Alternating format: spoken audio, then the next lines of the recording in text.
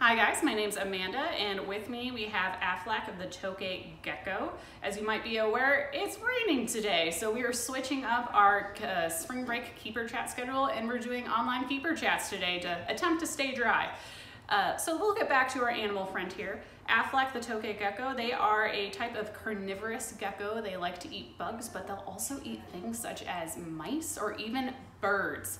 These guys are actually the second largest gecko species in the world, uh, and she's a little bit small for her species. We don't know everything about her past life before she came to us here at Frank Buck Zoo. Uh, we know that she's at least five years old, but they can get to be up as or as old as 10. Um, but we do think she might be a little bit stunted for her growth, which is why she's not as large as maybe some of her wild counterparts. You can find these guys over in Asia, and they these guys are really popular over in Asia because they do like to eat really large animals that might be considered pests over there, such as the birds eating their food, or even, you know, they can even eat rats. And we don't like rats because rats like to eat our food and they can help spread disease.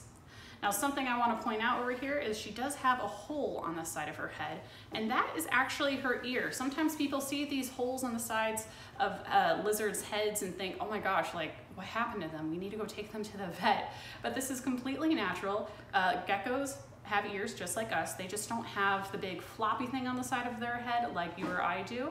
Uh, the big floppy thing on the side of our head is actually called an auricle, and that helps to kind of funnel in sound to our ear uh, to help us to interpret the sound a little bit differently than maybe a gecko would.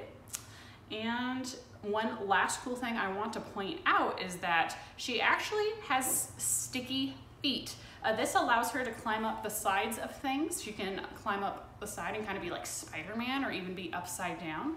Um, and those sticky feet actually have little lines on them. And the lines are called papillae and they're like little suction cups. Uh, that allow her to do all those fun, cool tricks.